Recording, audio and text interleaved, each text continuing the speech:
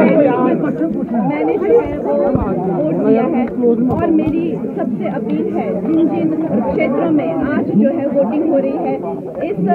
जो हमारा सबसे बड़ा संवैधानिक अधिकार है, इस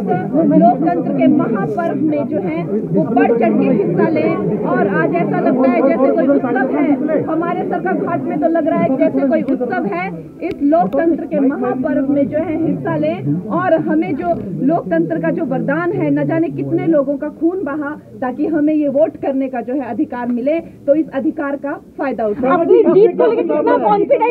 है हमारे लिए जो है ये जो मोदी की लहर है ये समस्त हिमाचल प्रदेश में है। मोदी जी ने जो है इस बार कम से कम लगभग 200 रैलियाँ की हुई हैं। दो महीने के छोटे से अंतराल में ना जाने 80 90 से ज़्यादा इंटरव्यू किए हुए हैं और उनका जो काम है, वो पूरे भारतवर्ष में जिनकी गारंटी है, उनका लोहा जो है, पूरा भारतवर्ष और हिमाचल प्रदेश भी मानता है। तो हम जो है, मोदी जी की सेना है और मुझे जो है अवश्य ही मंडी पार्लियामेंट्री का आशीर्वाद मिलेगा और मोदी जी को जो है यहाँ पर भी हम लोग चार की चार सीटें मैडम मोदी जी ध्यान करने गए हैं विपक्ष उस पर सवाल उठा रहा है। मोदी जी ध्यान लगा रहे हैं विपक्ष उस पर सवाल उठा रहा है। मोदी जी जो है वो ध्यान अभी नहीं कर रहे हैं। वो जब राजनेता भी नहीं थे जब कहीं ना कहीं पॉलिटिक्स से बिल्कुल नहीं जुड़े थे तब भी हम लोग उनके कितने चित्र देखते हैं। यहाँ हिमालय की वादियों में वो न जाने कितने दशकों तक वो तपस्या करते रहे वो कितने द- द- दशकों तक जो है ध्यान करते रहे अब इन लोगों को उनके ध्यान से दिक्कत है जो एक इंसान का जो है जीवन शैली जीने का तरीका है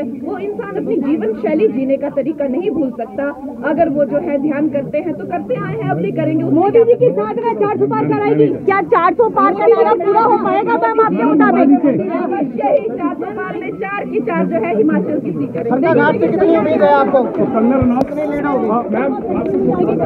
बता दें